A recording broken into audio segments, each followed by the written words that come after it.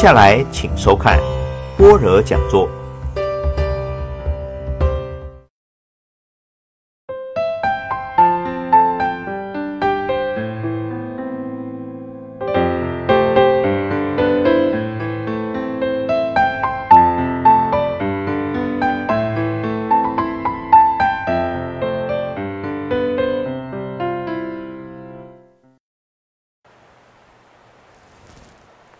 位观众，阿弥陀佛。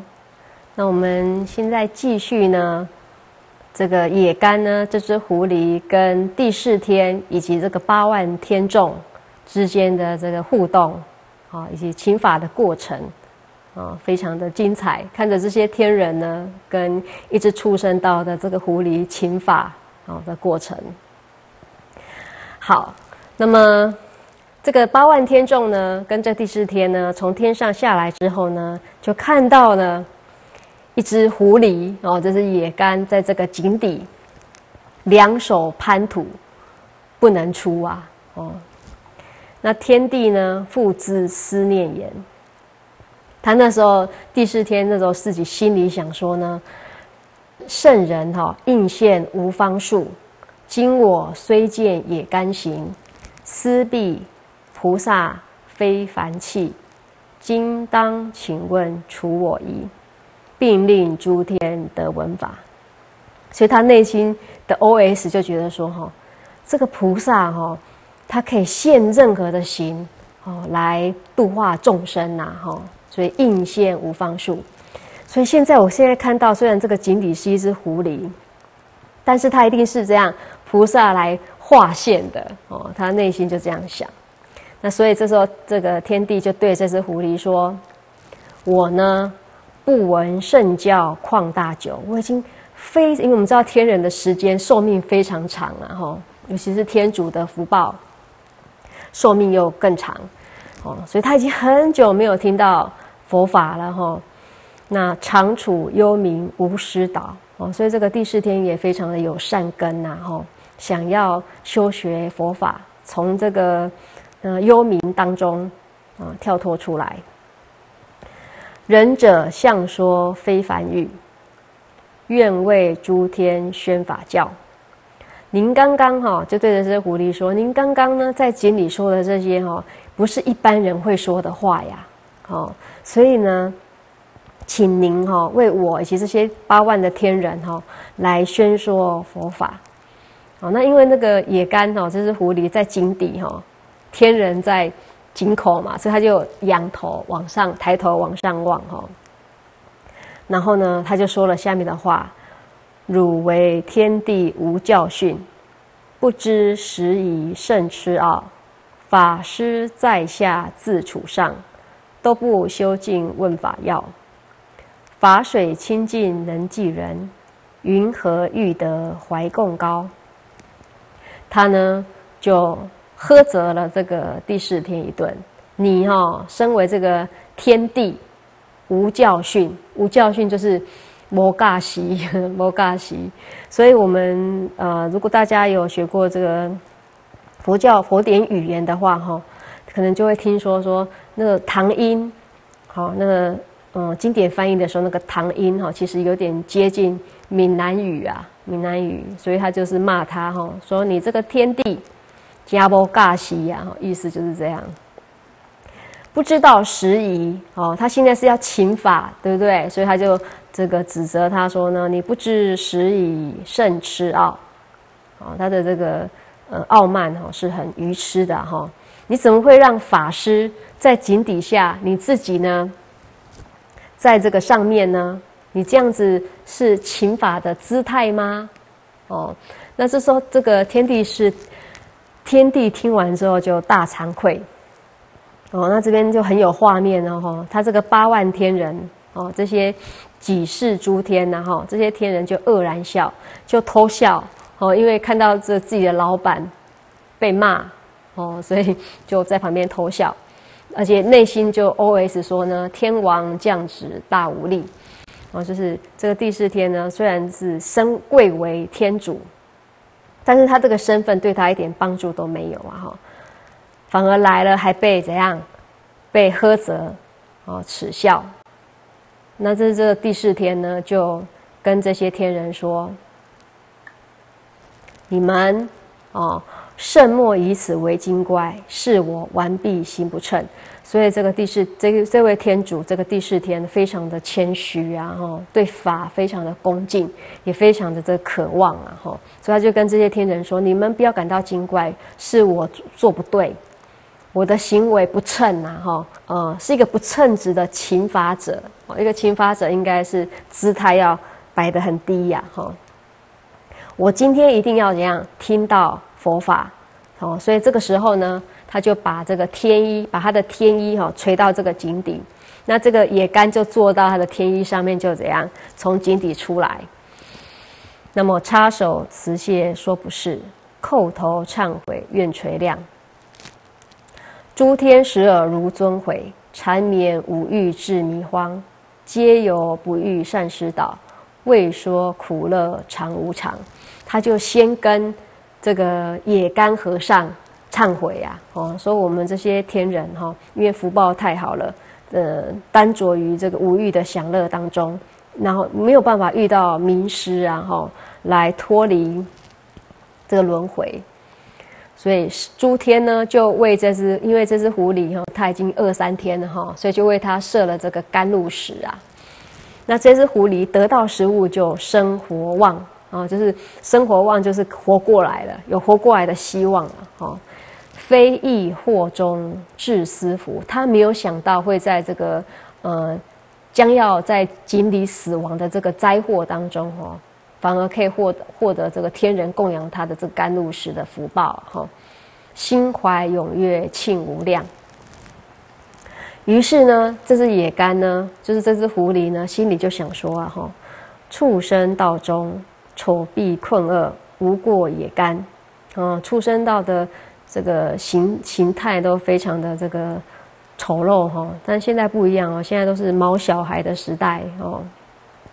我们看他很可爱哦，但是畜生道毕竟有畜生道的苦啊哦。那智慧力故，乃至如是，什么意思呢？他虽然形他的形体是畜生道，但是他却拥有什么菩萨的智慧，他有修行啊哈，就是宿命通啊吼。所以，他虽然是出生到智慧，但是怎样？因为有智慧力，哦，乃至于他能够感召这些天人下来跟他请法，复作是念：行禅之命本非所爱。哦，这位谭景法师他的翻译非常的美啊！哈，所谓这边的行禅之命指的是什么？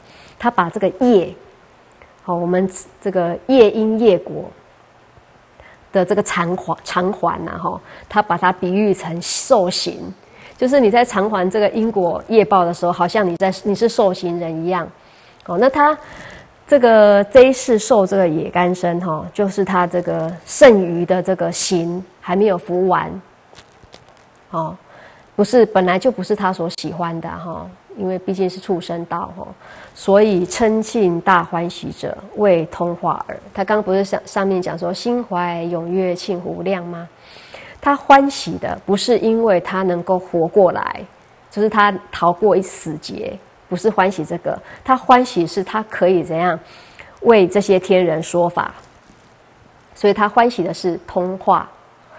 那么此诸痴天皆蒙地势，先有般若一毫之分，就是八万天人都是因为怎样？这个第四天的天主有一点点的怎么般若智慧，一毫啊，哦，一毫就是非常少的智慧，哦，就是因为这第四天有兴起，啊，点亮一点点的这个智慧的这个光明，哦。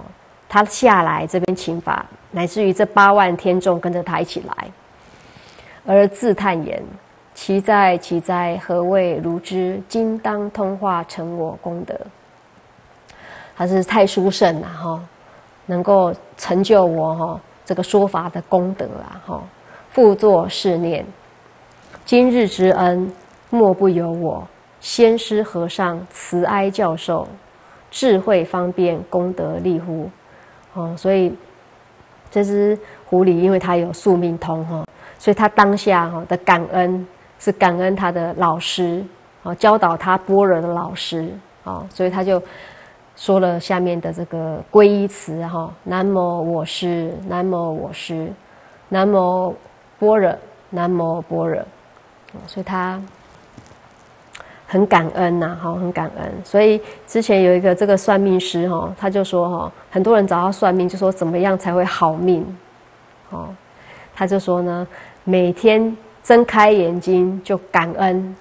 感恩我还有一口气在，感恩怎样怎样谁谁谁，哦，他说其实根本就不用这个改命啊，改名字不用哈，你只要懂得感恩，命就会好哦。这是出自一个这个算命师的口中哦，也是不容易呀哈。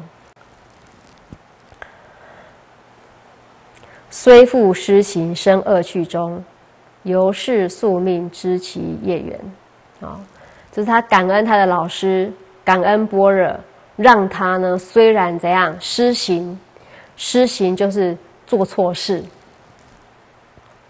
哦，种下恶因呐，哦，乃至于他堕落到这个恶道三恶道当中，哦，那虽然呢在三恶道当中，但是他也有宿命通，知道他的业缘，为什么他这一世是野干生呐，哦。般若之力呢？那因为般若之力能够感召这个诸天下来跟他请法，哦，但也这个满了他希望可以这个弘扬佛法的愿呐，哦。这时候这个天地士就跟诸天说：“哈，如是言者定欲说法，我等今来快得善利。”他也很高很高兴说：“那听这个野干和尚这样说，哈，他一定会为我们说法。”好，我们就快要得到很大的利益了，应该要这个叩头单诚请令说法。他就这个提醒这这些八万天人，要很诚心的请法哈，显然为诺，即个修净。所有的天人哈，就这个把心这个收摄起来啊，然后很恭敬的听法啊，就围绕了这只狐狸。啊，所以这个如果是动画就很精彩了哈，就是八万个天众啊，天人哈围着一只狐狸哈听法这样子，然后这八万天众就异口同声的啊说了这个寄颂：善哉善哉，和尚也甘，唯愿说法开化天人啊，就请这个也甘和尚哦说法，天人幽冥五欲所缠。哦，天人为什么处在幽冥当中？就是黑暗当中、无明当中。哦，是因为被五欲所纠缠呐。哈，那你想完五欲之后呢？福尽之后，无常一来就死堕恶道啊。哦，所以呢，大家都希望得到救拔，但是因为久远劫来都没有遇到名师指导啊。哦，那今时一遇，今天有这个机会。哦，能够遇到这个福田，希望这个和尚也该能够慈悲为我们说法，这样。那这个时候，这是狐狸看到天人殷勤劝请，要欲闻法，一家心勇，告天地曰：啊，他听到看到这些天人都这么这个恭敬哦殷勤的请法，所以他就自己也很高兴的跟这个天地说啊，哈。意念我习，曾见世人欲闻法者。他也是这个提醒呐，哈，提点一下这个天地是，说，我想以前呐，哈，他还是人的时候，哦，他看到这个世间的人想要听法，必须要先怎样敷设高座，就是法座，哦，要把它敷好。哦，要很庄严清净，然后才请法师登座说法。为什么要这样呢？因为呢，这个法是很贵重的哦。这个佛法哦，经法哦，是佛陀的法身舍利呀，所以非常的贵重哦。所以为什么要敷设高座？因为金法贵重。你如果能够进法，你就能够得福。所以不以轻心自亏福也。你如果慢法轻法，其实就是损自己的福报啊！哦，那这些诸天听到之后呢，就怎样？非常的认同，所以大家就把这个天衣都脱下来哈，把它积成一个高座，一个法座，哦，那须臾之间呢，庄严教室，清净第一。哦，这个法座就把它布置的非常的庄严，用天衣呀，哈。那这只狐狸呢，这只野干和尚就身坐说法，哦，就跟这个天地说呢，无今说法正当为二大因缘，就是说他今天说法是因为有两个大因缘哈，哪两个呢？第一个，一者说法开化天人福量故，哦。就是他讲这个佛法给这些天人哦，福报无量无边。第二个，他说法是为了要报这些天人施食，不施食物给他，哦，岂得不说？那这个天地是哈，这个天地哈，毕竟他还是这个很有有有智慧的人呐，哈，有智慧的天人，所以他就反问这个野干。因为这个也干讲说他讲法的两个理由，一个是要这个度化这些天人嘛，哦，祸福无量；第二个是要报他们施食的恩呐，哈。但是这个天地师他就觉得说，我们把你救上来是施命给你呀，好，那为什么你讲法的因缘没有我们施命给你，反而是我们布施食物给你呢？哦，施命不是比较殊胜吗？哦，他就问了这个问题。哦，所以他就说呢，你呢得到这个全生命，我们的功德应该很大哈。因为为什么呢？因为一切天下皆乐求生，无欲死者，以是因缘，全命之功岂得不大？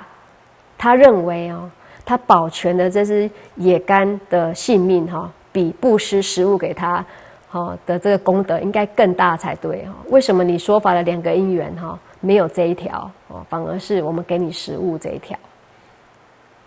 那这个野干就回答了，这个哈就涉及到行者的心路历程，那也可以帮助我们哈，就是呃增增益我们的正知见。你在思维的时候哦，我们要学习有智慧的人哦，有智慧的行者他是怎么思维的哦。那这是这个野干和尚就说呢。死生之疑各有其人，哦，就是呢，到底生死哪一个好？每一个人呢认定不一样。为什么呢？因为有的人贪生，但是有的人乐死。哦，怎样的人会贪生呢？就是一般的世间的人，处在这个愚痴幽冥的状况之下，不知道怎样。你现在贪生，对不对？但是生接下来就是死啊。哦，所以不知道死以后世更深，就是不断的轮回啊。所以因为愚痴，所以一直贪生哈。这样子就为佛缘法，不遭名师，杀盗淫妻，为恶是从。如是之人，贪生畏死。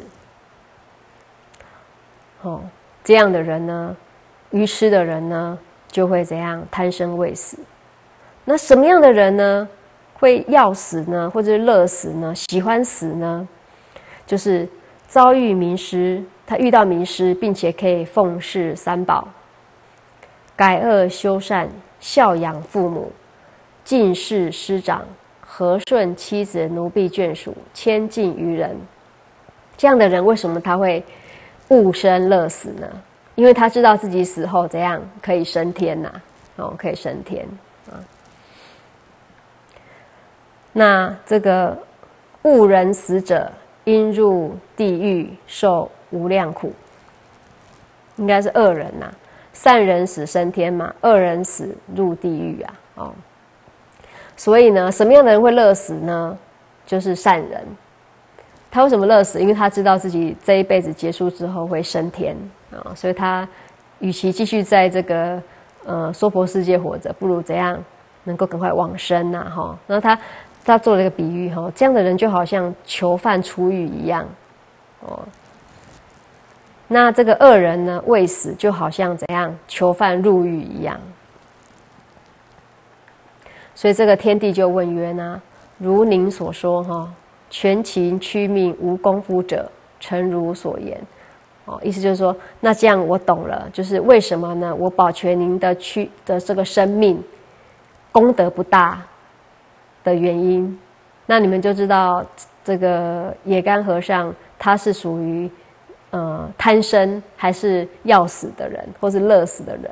他是属于乐死的人嘛？因为他知道这样就是指他下辈子会去。更好的地方啊，哈，所以他就认为说，你这样救我是没有功德的，哈，因为他可以去更好的地。如果他在井里面往生的话，他可以去更好的地方嘛，哦。所以其余二公施食施法有何功德？哦，那这这个天帝是非常认真的学生，哈，就趁机赶快这个请法然后，那既然已经谈到这个话题了，请问。野干和尚哈施食跟施法的功德哈有什么不同呢？哦，那这个野干就回答说呢，你布施人家的饮食哦，是济一日之命，就是让人这样可以多活一日。那你如果你布施的是这个珍宝物的话，你帮助的人家的是什么？一世一辈子哦，一辈子的这个福报啊哈。布施给别人，那增益生死，系福因缘。不管是布施饮食，还是布施财富给人家，其实都是增加对方的什么生死系福，因为继续轮回嘛，继续轮回哦。这个是属于这个呃施食的部分。那法师呢？如果你能够说法教化的话。令众生出世间道。那出世间道有三种哦，他这边翻译翻成罗汉、必知佛、佛道，其实就是三圣，然后就是声闻、缘觉、佛啊。哦，这三种人呢，或者三圣呢，都是因为听闻佛法，并且如说修行。所以佛教里面讲闻思修啊，哈，闻。很好，但是之后还不需要怎样如说行呐，哦，不然经典里面常常讲说，你如果听了，但是不行，哦，就好像怎样，这个看别人吃满桌的什么这个饮食美美食一样，那美食你自己用看的，看别人吃，自己不吃啊，哦，经典里面常常用这样的比喻来说明呢。只听闻佛法，但是不如说行的人，哦。那么有诸众生呢，免三恶道，受人天福乐，皆由闻法。是故佛说以法布施，功德无量。好，当然你施食跟施法来讲呢，这个法布施的功德无量，因为它是帮助众生可以怎样生死解脱，哦。所以这时候呢，这个天帝就白言：“施今此生为是业报，还是应化身乎？”我们刚刚之前讲了，这个天帝是就这个天主，他认为这个这只狐狸势必是菩萨化身的哈，所以他就趁机问他说：“那您今天这个造型，这个狐狸的造型哈，是业报还是化身啊？”哈。那这个呃野干和尚呢，他也很干脆，说我是夜报生，啊，不是硬化。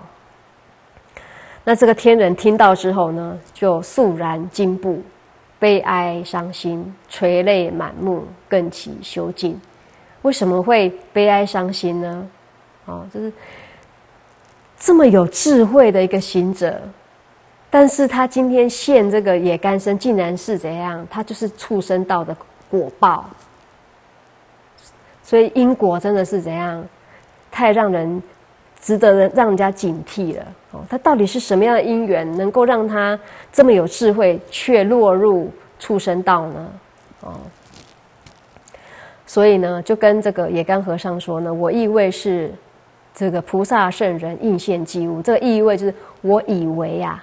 好，我以为您是菩萨圣人哈，应化来这个接济众生呐。哈，今天听闻您是因为罪业果报，未知其故，唯垂哀悯，说其因缘。所以这部经叫做《佛说未曾有因缘经》呐。哦，里面非常多的因缘故事。啊，未曾有就是不可思议啊，哈，那因缘果报是不可思议的哦。那这只野干就回答了，他就开始交代哦，这个他为什么呢会成为这么有智慧的狐狸呀？哈，他说：“欲闻者善，欲闻者善，无经说之。”哦，就先这个赞叹一下，他们说：“你们想要听我的因缘故事哦，非常的有善根呐。”哈，我现在为你们说明。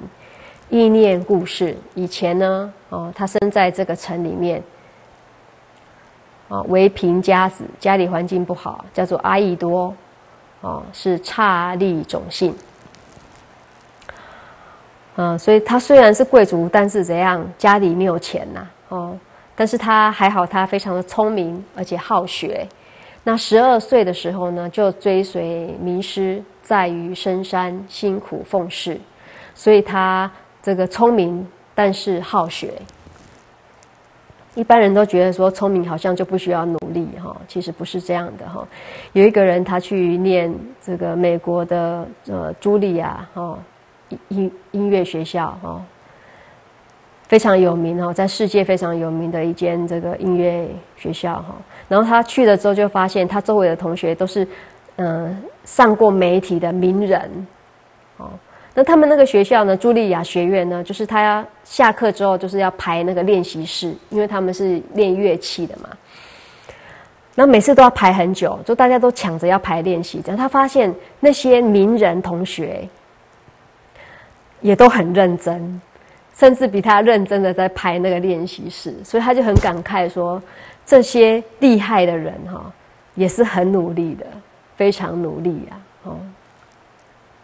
修行也是要努力呀，嗯，好，所以这个阿依多哈聪明，但是好学。哦，所以他这个跟着一个名师在深山学习，经过五十年哈，你这样往后面看就知道哈，在那个他生存那个年代，人的寿命很长，人的寿命非常的长啊哈，在一些佛教经典有记载哈，以前我们娑婆世界人的寿命也是很长。但是因为无名贪嗔痴哈，这个业力的关系，我们的人寿会越来越短呐。哦，那现在大概是一百岁左右。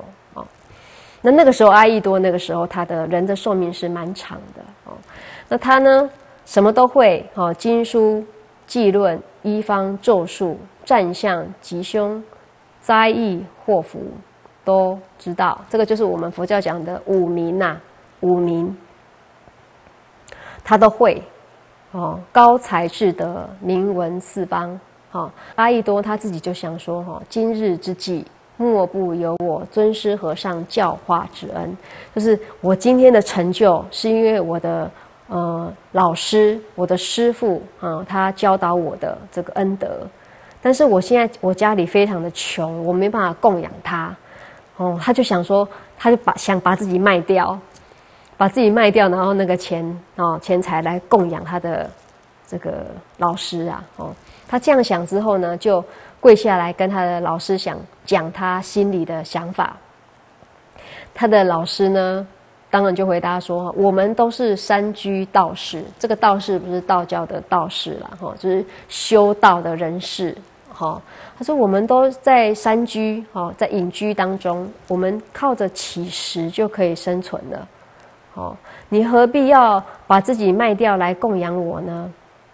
哦，你今天的成就，你的智慧辩才，哈，应该转做去教化天下的人民，好，成为天下人民的这个法灯呐，哦，这样子，你教你去这个教化人民，是就足以这样来报我教导你的恩德，不需要把自己卖掉啊，哦。所以就跟他说：“你就留下来嘛，哦，不需要有任何多余的动作。”那阿逸多是智人啊，他一听怎样就懂了哈，所以他就留下来继续跟他的老师在山中乞食自存。但是不久之后呢，那个国家的国王就这个驾崩了，那群臣就极议，哦，宣令国界，就是在国内里面哈，就公告，哦，这个国中哈。有名的这个学士，大家一起来议论辩论，哦，那赢的人呢，我们就把他立为国王。那这时候阿逸多呢，就应召来即，与诸学士五百余人，七日之中共决事议。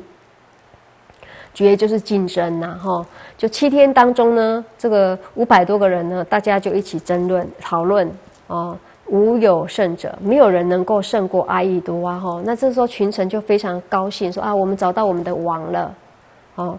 那这个时候阿逸多呢，看到这样的情势，他其实是忧喜交集的。他说呢，如果呢，我选择做国王的话。哦，他知道人性是很脆弱的呀，哦，所以会产生什么交易，哦，贪求快意。他知道当王之后就会怎样傲慢呐，哦，然后会寻这个追求快乐，哦，那他这样子的行为就会导致这个人民受苦。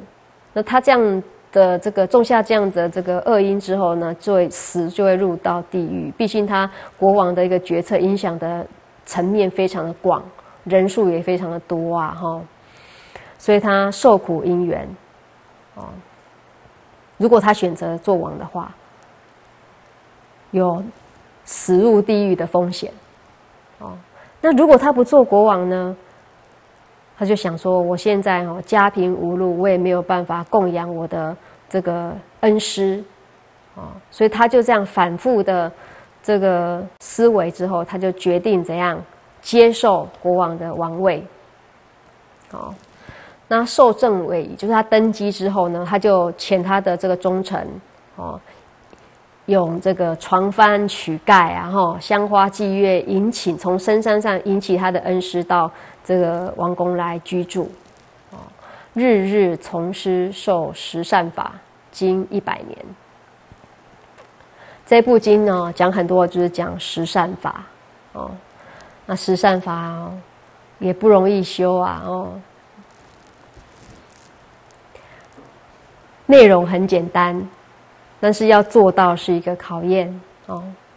尔时边境有二小国哦，他现在在讲说他为什么会从一个这个国王哈，嗯，导致他这辈子成为这个野干生的因缘故事啊哦。那个时候，阿逸多当国王的时候，哈，他是一个诶，他这个故事里面哈，这个国家的这个样态其实跟印度有点像。印度那个时候是十六个大国，那每一个大国哈，它有很多的附属国，怎样？那像释迦净饭王哈，他们就是一个附属国啊，也是一个大国的附属国，摩羯陀国的附属国，啊，跟阿逸多这个年代也有点像。阿逸多它是一个大国，哦，那它有一些附属国，其中有两个小国哈，征战不休，哦，那经过多年各不相得，各不相得就是谁也没有办法把谁并吞掉啊哈。这个时候呢，有一个国家叫做这个安陀罗，一个国家叫做这个摩罗婆耶，那安陀罗王呢，他就召集群臣。商量说，我们到底要用什么方法可以把这个国家并吞过来？哦，那就有臣子就建议他，说这个阿逸多王出身寒贱，哦，虽居王位，寒意犹存。哦，这样讲的其实是还蛮狠的哦，但是也是因为怎样了解人性哦，他知道说这个阿逸多他。是贫贱的人家出身的，就是你有呃缺失哈，你的软肋、软肋哦，被人家知道了哈，就比较呃危险一点哦。所以以前有一个企业家哦，他在大陆哦，他就说嗯。他都有交代他的主管哈，就是这些台商过去哈，就是你喜欢什么哈，不要告诉你的下，不要让你的，不要透露给你的下游厂商们知道，这样会会有一些麻烦呐。比方说，有一个经理他喜欢喝酒哦，那这些下游厂商如果送酒给他哈，他就没有办法怎样公平合理为这些公司着想的选择最好的。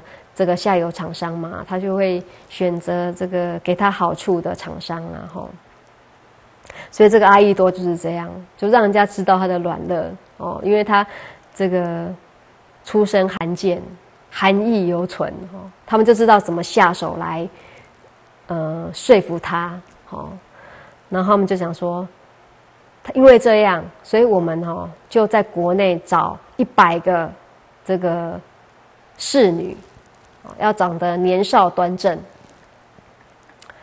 那么庄严相结，哦，然后我们呢，把这一百个这个才女呢，跟一些重宝，哦，一起献给这个阿逸多王，那献给他之后呢，就请他呢派兵百万，哦，帮我们助攻啊，哦，那这个国王就采纳这个臣子的建议，所以呢，一时之间呢，民女跟宝物呢，一时稀办。哦，就把他这个整个办理完毕了，就遣臣哈，把这些美女跟这宝物都送给阿伊多王。那阿伊多国王得到美女跟宝物之后，甚大欢喜，哎，所以就落入别人的陷阱哦，正如别人所料的哦，并且问这个使者说呢：“你们送我这些好的东西，希望什么回报呢？”哦，这使者就跟他说呢。这个摩罗婆国哈，是大王所统，彼王玩消不知化度，哦，淫乱无道，不理国政。当然要先跟他说一下，说他们想要并吞的那个国家的国王是有多么的糟糕哦。希望你能够出兵帮助我们一起讨伐他们。哦，那这个阿逸多就答应了，哦，就挑选了强兵百万。那这个安陀罗王呢，也自检国中得百万人，哦，就是大概两两百万人哦，都是强兵啊，精兵啊。那他们就在百日之内呢，就互相战斗，哦，伤杀人死过半，所以一个国家里面哦，死了将近一半的人呐，哦，那方得胜比。摩罗婆王西被行斩，及其宗族数千万人一时起没。你看阿逸多王一个决策，导致一个国家人死了一半，然后这个贵族哈统治那个国家的宗族，哦数千万人一时怎样都被斩杀哦。那这个阿育多王呢，既得诸女，亦迷情惑，忘失本质。奢淫浊乐，不理国政。啊，刚好我在讲这部经的时候，有一个学员就问了一个问题，说：“哎，为什么就是知道哈，这个佛法很好哈，但是怎样还是会这个放逸懒惰？”哦，我就说，你看阿逸多一样啊，他当初也知道，他如果担任国王的话，会有怎样堕入地狱的风险。他知道理上知道。哦，但是真的在事项上哦，境界上遇到的时候，怎样还是抵抗不住人性之脆弱啊！哦，所以他就来以后都都出了呀！哦，嗯，所以他就奢淫浊乐，不理国政啊！哦，所以在华严经才说要怎样理事圆融啊，并且最高境界是事事圆融。就是你理上都很清楚，但是在事项上呢，也要怎样如理所说的这样去做啊？这样叫做理事无碍啊！哦，那阿逸多他就是理上知道，但是事项上就考倒了。这个就是我们学佛的人哈的通病啊，那也是我们一个。可以期许自己的一个目标，达到能够达到这个理事圆融啊，哈，那当然就要这个定会要等齐才有办法哦。好，那么阿逸多呢，他因为这样子哈，嗯，不理朝政啊，哈，所以他当然就被推翻了哈。那他被翻被推翻之后呢，自己就往生了，往生之后就堕入地狱，如他自己所预料的，他就堕入地狱。那么身被处毒，哦，缘前学问智慧力故，即是宿命心自悔责，啊，所以他呢虽然堕入地狱，但是他一样有宿命通，就是之前教他那位老师啊，哦，好苏明彤，他也知道自己为什么是因为造作了什么的恶业，乃至于今日堕入地狱当中，所以他在地狱当中一样可以怎样忏悔，好心自悔则改恶修善，所以因为这样的忏悔力，让他须臾之间，就是一弹指之间，哈，地狱命中生恶鬼中。并且在恶鬼当中，他也怎样是宿命，一样有宿命。然后呢，极富悔过，一样透过这个忏悔的这个力量，修念十善，一样在一弹指间从恶鬼中死，生畜生中。好，我们知道，如果依照经典里面常常记载，就是说你要在地狱受无量劫，然后之后再在恶鬼道里面受无量劫，之后再到畜生道，一般都是这样的程序。哈，那但是因为他有这个。呃，宿命的这个智慧力哦，导致他能够呃在三恶道当中哦，还能够忏悔。一般众生在三恶道都是就受苦无间呐，太苦了哦，不会想到要忏悔啊。哦，那他是因为之前的修行的这个果报，他的势力在哦，导致他能够很快速的离开地狱，很快速的离开恶鬼，然后这一世。哦，在畜生当当道当中受野干生呐，哦，所以这只这个野干和尚呢，就交代了说，他为什么今天这么的丑陋的这个畜生道的这个身体，却能够这么的有智慧的这个因缘故事啊，哦，是这样。他说呢，他这个受野干生之后，因为智慧力呢，能够有宿命通。他一样在畜生道当中，哦，奉持十善。十善就是身三、口四、意三呐，哈，不杀盗，哦，淫。那口四就是不妄于两舌，哈，这些的。意就是不贪嗔痴啊。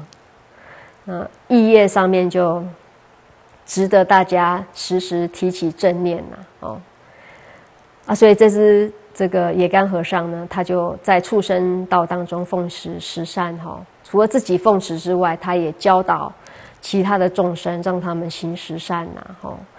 那因为最近遇到一只狮子，啊，他呢因为一时的这个恐惧，被狮子追哈，掉到这个井里面，开心等死，不简单，可以可以开心等死哈。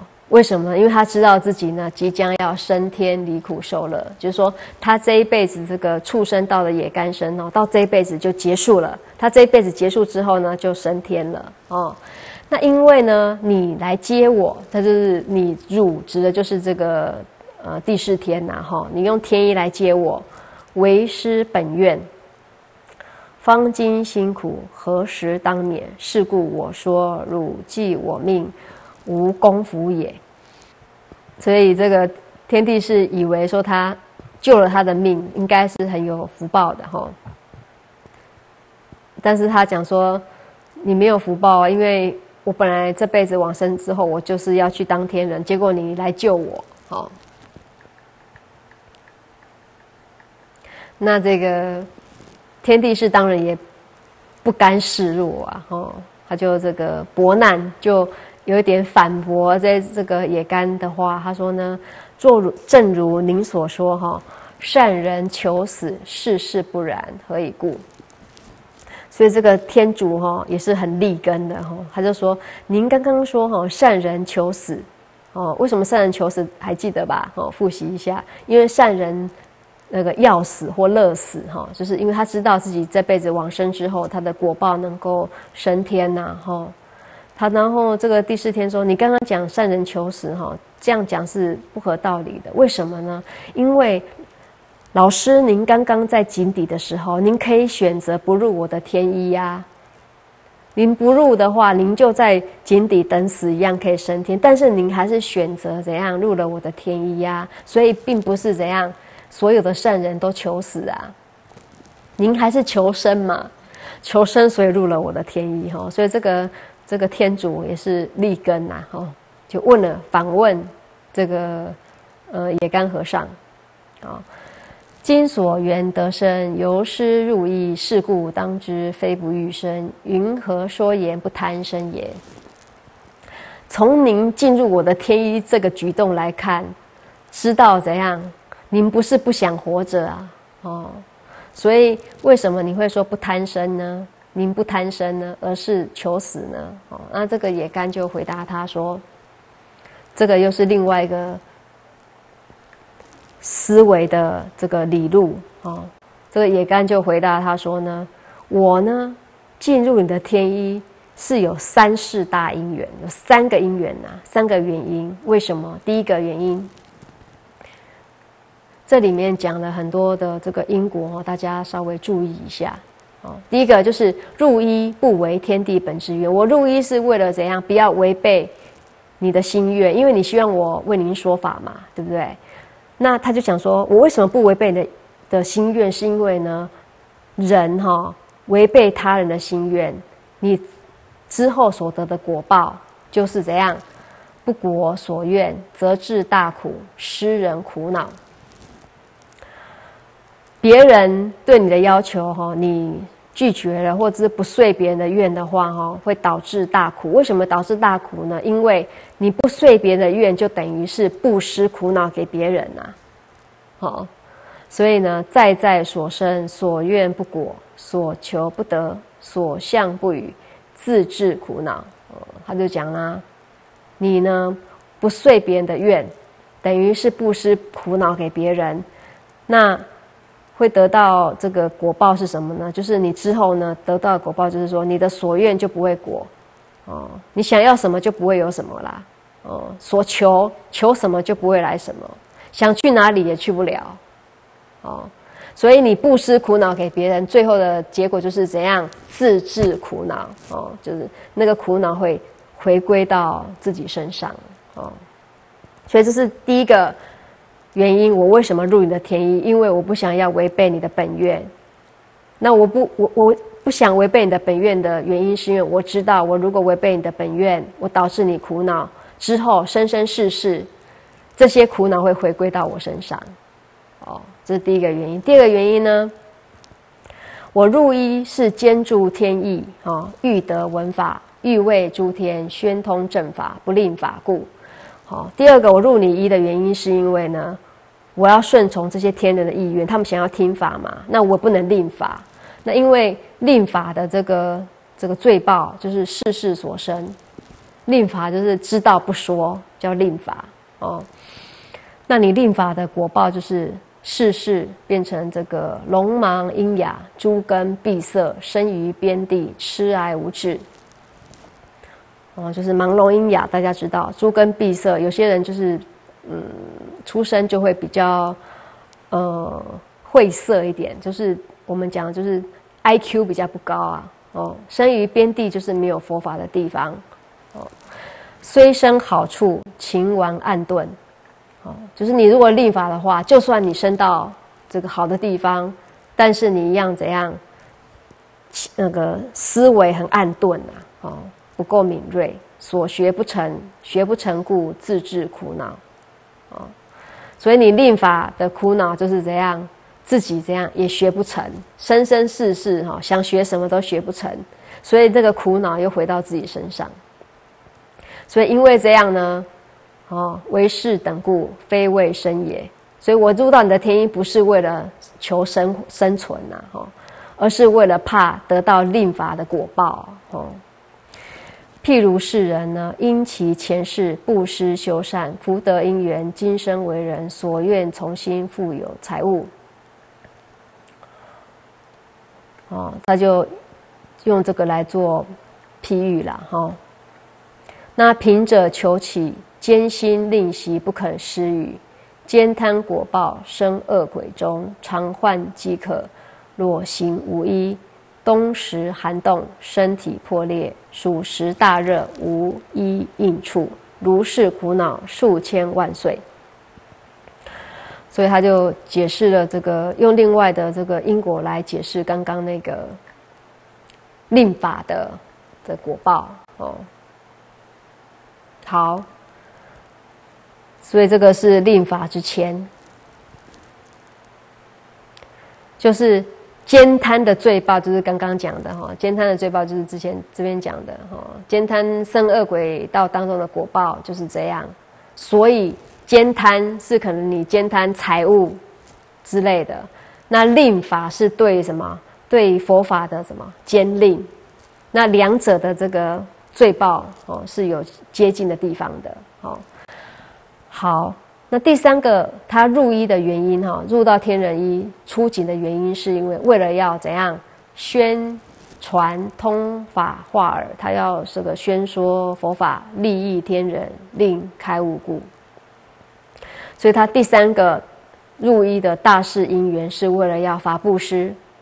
哦，那为什么他要法布施呢？刚刚有提过，就是因为怎样，法是功德无量。所以他刚刚交代的这三个原因，他为什么入狱的三个原因，最后一点时间，好，我们再 review 一下，就是不违本愿，啊，因为违了你违背别人的这个意愿，啊，你的果报就是这样，导致自己苦恼。第二个入一，是因为怎样，不要令法，因为令法会有令法的果报。第三，哦，他就是为了要什么，法布施。所以，因为这三大因缘，他这个进入了这个天人的天衣里面，然后出了这个井呐，哦，是为这三件事，而不是为了要怎样求生，哦，所以他就回回答这个这个天主哈，说我不是贪生入你的天衣，而是因为这三件事，所以我入你的天衣呀，哦，所以他的。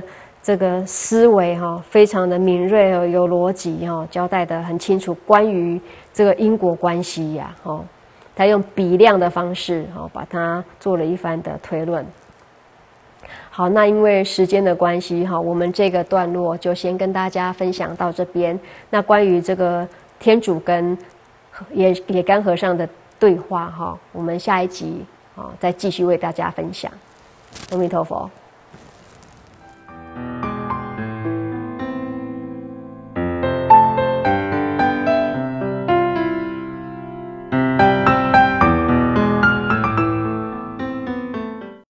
哇哦，狗狗好可爱哦！但是没有主人的狗狗希望有人爱。你可以选择狗狗的品种，但是不用选择的是它们的忠心。它们缺的是一个机会。在外面流浪的狗狗们，也渴望您的关怀，需要您的帮助。台湾救狗协会邀您一起护持、救护、养护流浪狗。划拨账号：五零零一六七六六，五零零一六七六六。户名：台湾救狗协会。慈悲置业高雄分会中山书坊举办八关斋戒暨蒙山施食法会，恭请广护法师主法。法务指导僧众领众，日期七月一日上午九点开始，下午两点礼拜大悲忏，地点高雄分会中山书坊，高雄市新兴区中山二路四百七十二号七楼，洽询电话零七二二一二三二三零七二二一二三二三零七二八二零二七八零七二八二零二七八，敬邀菩萨参与熏习，同沾法益，共沐佛恩。配合防疫措施参加共修，敬请佩戴口罩。佛教中山书坊法会直播，请搜寻脸书“佛教中山书坊”。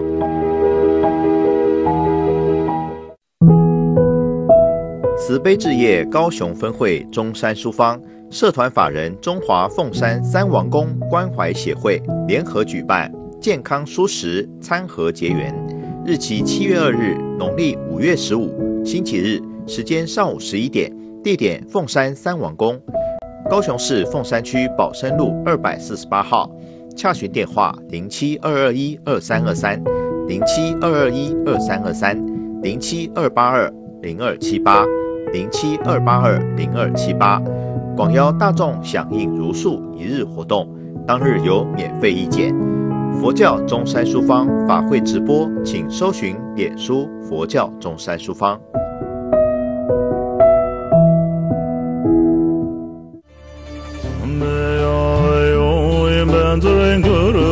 ཁས ཁས ཁས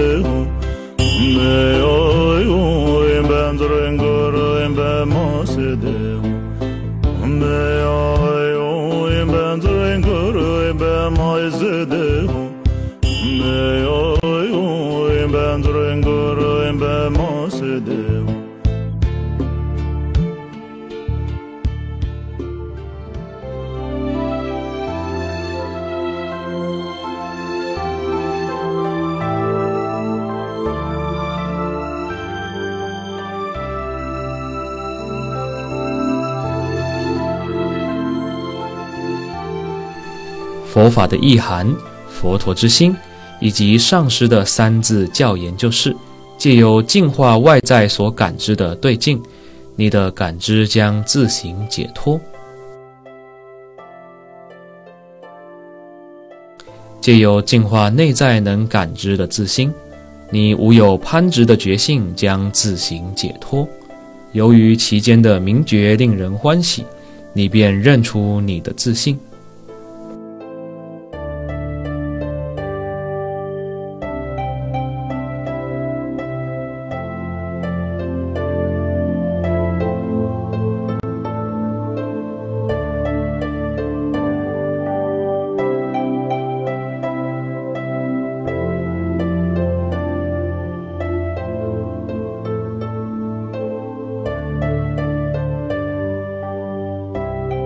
认识自己自信的教言，在修持的时候无不了之。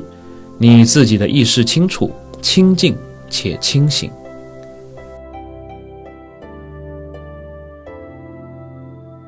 修持时，你将体验到自己内在本自己有的觉性，既不会因有念的态度所败坏，也不会攀缘于大乐、明性。或无念，由于它本身是佛的心，你已经认出你的自信。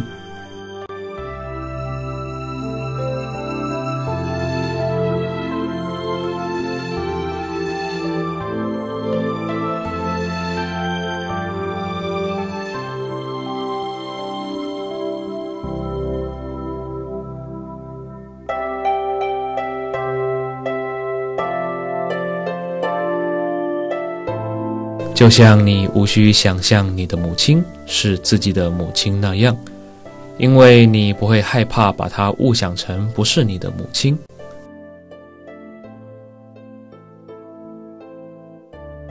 同样的，当你的觉性认出它是法性的本具自信时，你将不再把轮回的现象误认为是个有的自信，即使你不认识它。你也从未与法性的本具自信分离过。